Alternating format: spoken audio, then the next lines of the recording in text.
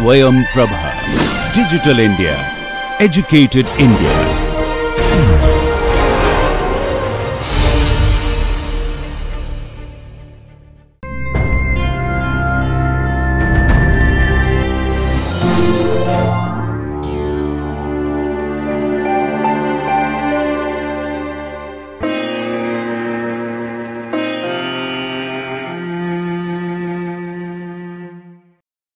Welcome to the today's session of course Therapeutic Nutrition. This is the third module that is clinical features, etiology and nutritional management of GIT disorders. And this is the third lecture of this module in which we shall be studying about nutritional management of celiac disease and lactose intolerance. In the last lecture, we had studied about etiology. And in this lecture, we shall be focusing on etiology, clinical features, and nutritional management of celiac disease and lactose intolerance. The food which we eat is chewed, swallowed, and digested by our body, and finally it reaches the small intestines for absorption of various nutrients present in our diet. The small intestine is a specialized organ which absorbs the nutrients that is the carbohydrate, the protein, fats, macronutrients and micronutrients present in our food. It has a large surface area which is further increased by presence of numerous villi and further microvilli to ensure the absorption of maximum nutrients from the digested food which will pass through them. The number of villi and health of villi therefore it is an important indicator of the extent of the nutrients which our body will absorb. Now let us explore a disease which will affect the health of villi of our body.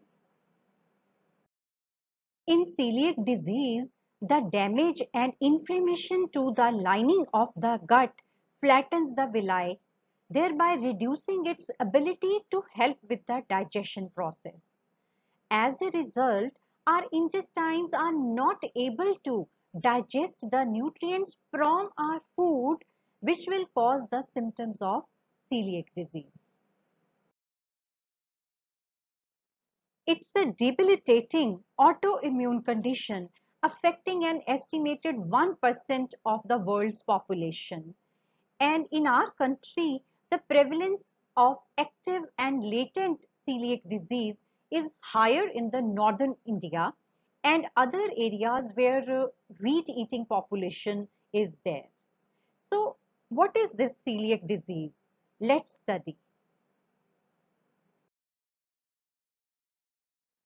Celiac disease is also known as gluten sensitive enteropathy. It is an inflammatory disorder of small intestine which is precipitated by ingestion of gluten which is a component of wheat protein and the part of gluten is gliadin which evokes the reaction in susceptible individuals. It's the lifelong condition where the ingestion of gluten damages the intestines where the immune system mistakes the gliadin as a threat to the body and it will produce antibodies against its own system and it will damage the healthy cells of our intestines. Celiac disease is characterized by a combination of four factors. And these factors are the first one is genetic susceptibility, second one is exposure to the gluten, third is an environmental trigger, and fourth one is an autoimmune response. Who are at risk? Since it is a multifactorial disease, which will include genetic and environmental factors. So it is not known why some people they develop celiac disease and it is not clear why some of them they have mild symptoms whereas others they get severe symptoms.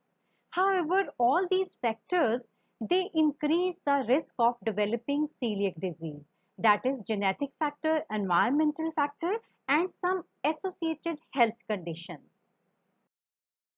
Celiac disease often runs in the families and it is strongly associated with a number of genetic mutations that affect a group of genes. We call them HLA-DQ genes.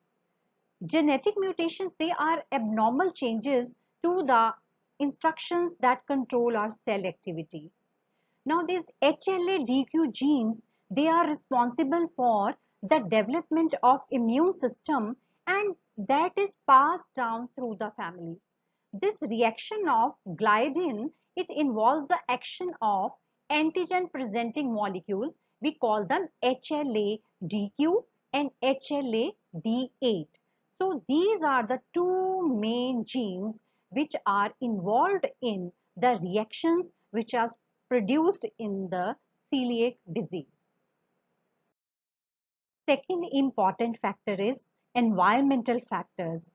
The digestive system infection such as rotavirus infection during early childhood that is important environmental factor when it comes to the susceptibility to the celiac disease. And also there is evidence that introduction of the gluten to the baby's diet, if it is introduced before the three months of the child's age, it increases the susceptibility uh, of developing the celiac disease in child. Then there are some other health conditions such as type 1 diabetes, thyroid, then ulcerative colitis, certain neurological conditions, and then Down syndrome. And then relationship of all these factors, it is quite unclear that we do not know whether these health conditions they directly increase the risk of developing celiac disease or whether they and celiac disease are both caused by one another. The third important thing we discussed is trigger to the gluten sensitivity. There are certain conditions such as gluten overload, pregnancy, then viral or bacterial infection, then if a person is going for a surgery, then over exercise or severe stress, all these conditions, they can act as trigger and then they can precipitate the gluten sensitivity. Gluten peptides, they are generally more resistant to the complete digestion by the gastrointestinal enzymes and then they may reach the small intestine intact. But in a normal healthy intestine, these peptides are harmless as the intestinal barrier is intact and it will prevent the translocation from the intestine. However, in the person who are having celiac disease, these peptides, they will travel from the intestinal lumen across the intestinal epithelium and then into the lamina propria where it can trigger an inflammatory response along with some systemic responses which can be seen in the epidermis of the skin. When celiac disease remains untreated, the immune and inflammatory response eventually results in atrophy and flattening of the villi and it will damage the microvilli in the duodenum and the jejunum after the ingestion of the gluten. This disease is accompanied by marked reduction in the absorptive surface of the small intestine because of flattening of the villi. So where does gluten come from? Gluten, it is a family of proteins which are found in grains such as wheat, rye, spelt and barley. Along with that, some people with the celiac disease may find that eating oats can also trigger the symptoms. This is because some of the oats may be contaminated by other grains during the production process. Oats, they contain a protein which is called as avenin, which is similar to gluten.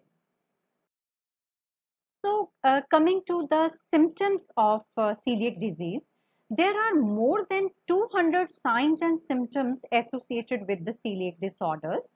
And out of these intestinal symptoms, they are more common, such as abdominal pain, weight loss, diarrhea, constipation, fatigue, and vomiting. Along with that, there are some extra intestinal symptoms such as delayed puberty in children, infertility, miscarriages, migraine, mouth ulcers, then chronic liver disease along with dermatitis herpetiformis. It is another symptom which is produced because of celiac disease. We can consider celiac disease as a syndrome because of wide spectrum of the clinical manifestation and the involvement of various human systems. Celiac disease, it shows peculiar features in comparison to other autoimmune disorders where we can see a complete recovery of the mucosal damage as well as the reversibility of the progression and chronic dynamics with total avoidance of gluten. But as we know, if it is undiagnosed, it might have severe consequences in children and in the adult subjects. And there are some long-term health effects associated with this condition, such as these people, they are two times greater risk of developing cardiovascular diseases and they are at four times greater risk of developing small bowel cancers. Untreated celiac disease can also lead to development of some other autoimmune disorders such as type 1 diabetes, multiple sclerosis, and short stature among children. So whenever celiac disease is suspected, the most commonly recommended screening blood test is the antibody testing that is TTG IgA antibody testing and the gold standard for the diagnosis of celiac disease is histopathology examination of duodenal tissue which is taken endoscopically. Now let's study the objectives of nutritional management of this condition. The first objective is acceptance of the diagnosis that a person is having this issue and maintain adequate nutrition. And then compliance to a gluten-free diet throughout the life. That is a key. And then to promote optimal growth in all age groups. And then effectively learning to manage dietary changes which are required to lead a healthy life with this condition. And only dietary management for celiac disease is to follow gluten-free diet. There are two similar conditions where gluten intolerance is felt that is with the wheat allergy which is IgE mediated allergy and then there is another one that is non-celiac gluten sensitivity. In these two conditions, gluten reduction is helpful. But this is not true to a celiac person where we have to eliminate the gluten completely from the diet. So the nutritional management is based on gluten-free diet. Second is to eliminate the irritants. And the third thing is to manage the dietary deficiencies. There are some important guidelines for gluten content of the food which every person suffering from the celiac disease should know and it can be really helpful for them. Like in our country, we consider that a food which contains 20 part per million or 20 milligram of gluten per kilogram of food, we consider it as acceptable gluten-free food. And then we have Codex Alimentarius Commission which has laid some guidelines for consumer protection. And then thirdly, FSSAI has formulated laws governing gluten-free foods through FSSAI Second Amendment regulation in 2016. So there are two categories of the products. One which have inherently gluten-free or gluten level in the product which is below 20 milligram of uh, kilogram of food as we have already seen. And then there is a second category of the products which are specially processed to reduce the gluten content to the level which will range between 20 to 100 milligrams per kilogram of the food. We need to manage the dietary deficiencies because in the initial phase of this disease, there could be malabsorption of fat, then there could be less absorption of fat soluble vitamins, B12, calcium, magnesium, folate and iron deficiencies can be felt. Therefore, supplementation can be actually helpful until the intestinal mucosa has recovered. And in cases where the person is feeling nausea, vomiting or diarrhea is present, we need to eliminate lactose containing foods and they can really benefit a person and help in early recovery. So compliance to gluten-free diet for life is a must even after the symptoms they have faded and the TGT levels, that is the antibody levels, they have returned to normal. Now this treatment will involve the elimination of gluten containing foods that is uh, for the wheat, gliadin, all varieties which contain gluten. And then barley, which contains hordein, and then rye, which contains secalin, and then oats, which contain avenin. All these items, they are to be eliminated from the diet so that complete recovery of the villi can occur. So the other food groups, they are permitted, such as a person can take millets because all these millets, they are inherently free from gluten. A person can take uh, foxtail millet, barnyard millet, kodo millet, then we have proso millet, finger millet, then we have sorghum, we have uh, pearl millets.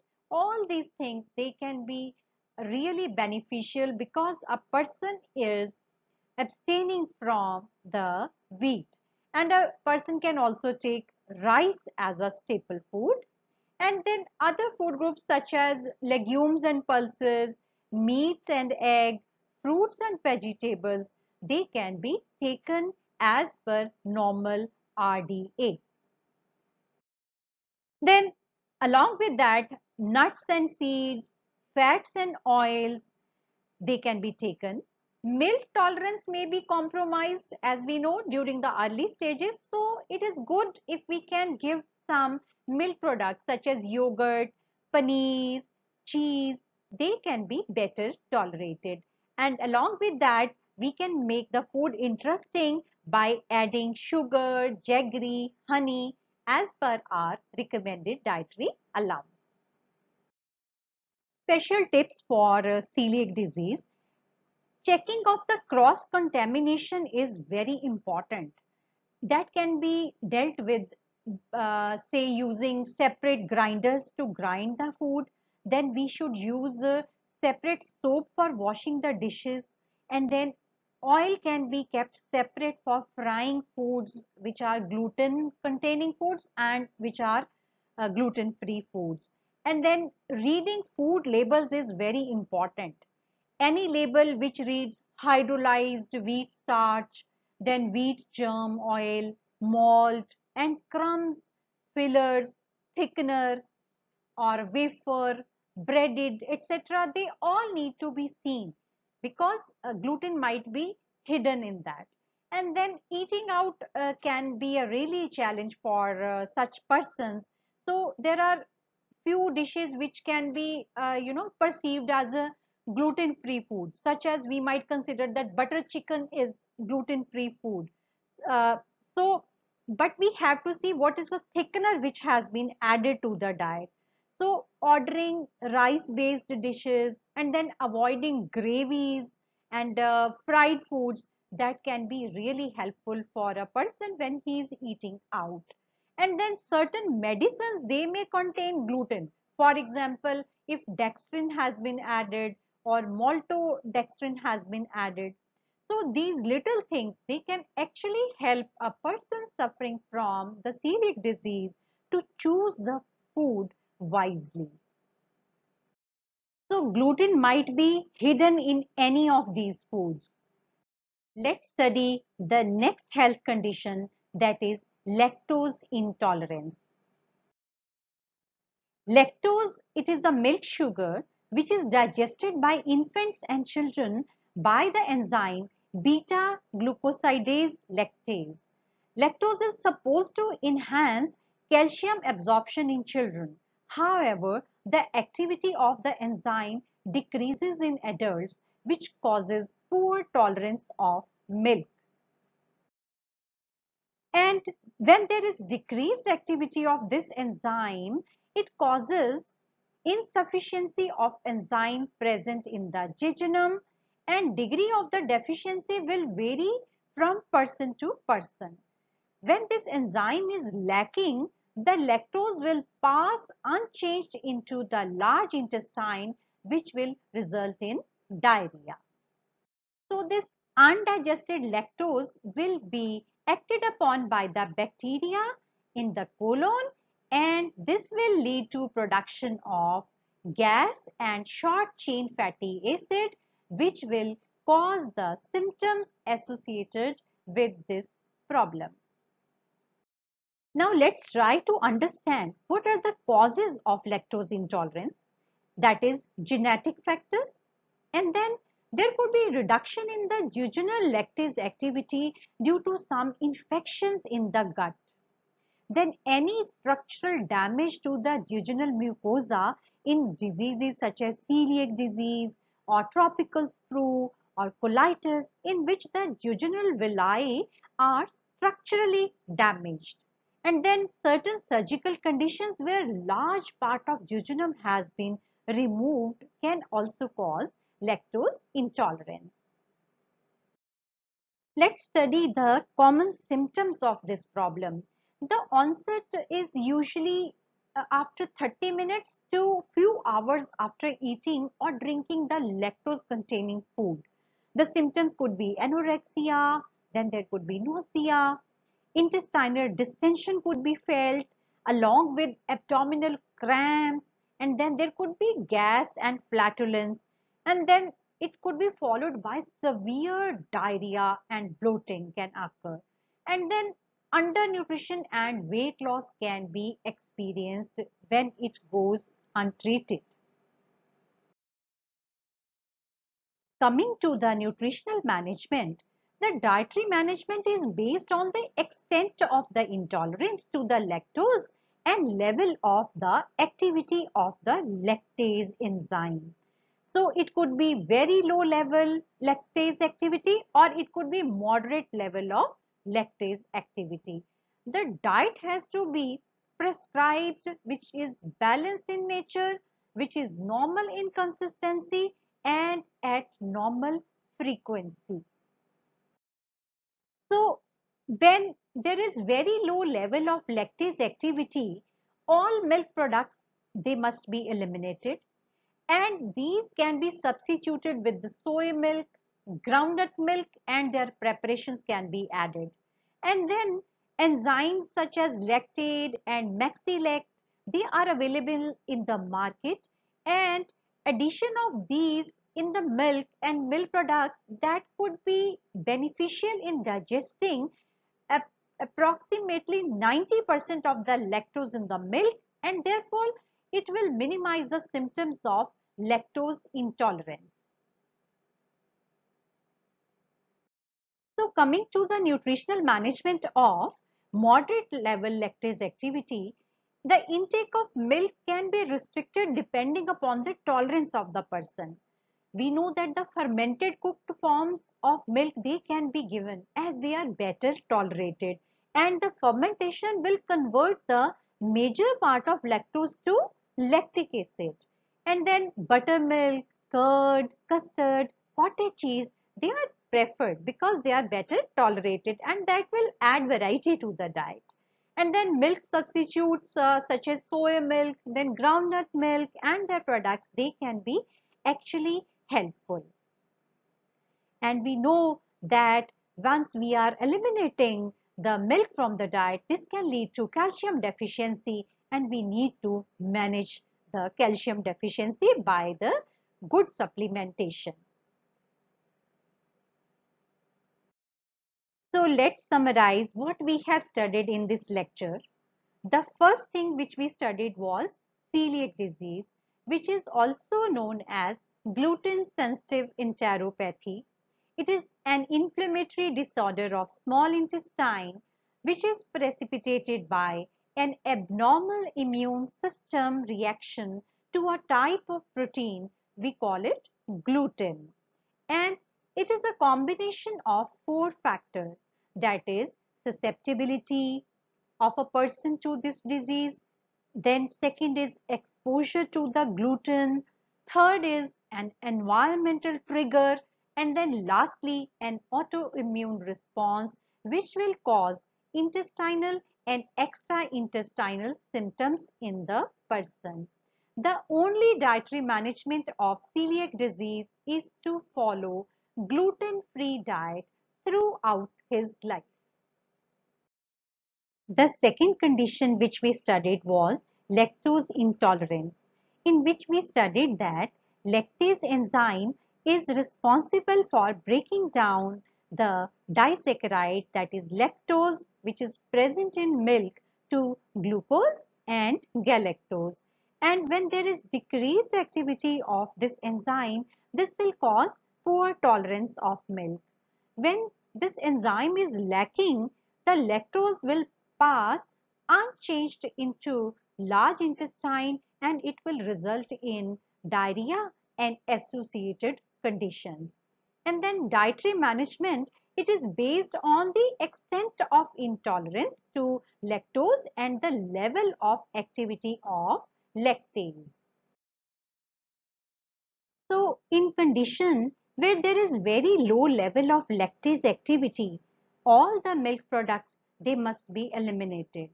And a person should be given the substitutes such as soy milk, groundnut milk and their preparations can be given.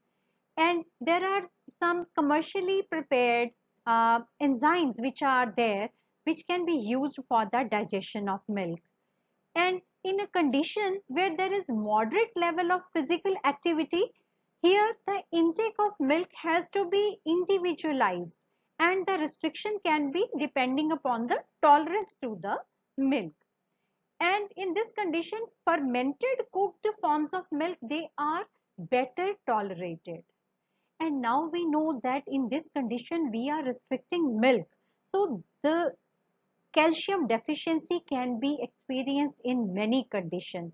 So we have to make sure that the diet is rich in calcium, which is taken from other sources. And then in other conditions, we can always substitute calcium uh, in the form of supplements. The quality of life depends upon our attitude. So stay happy and stay positive. Thank you.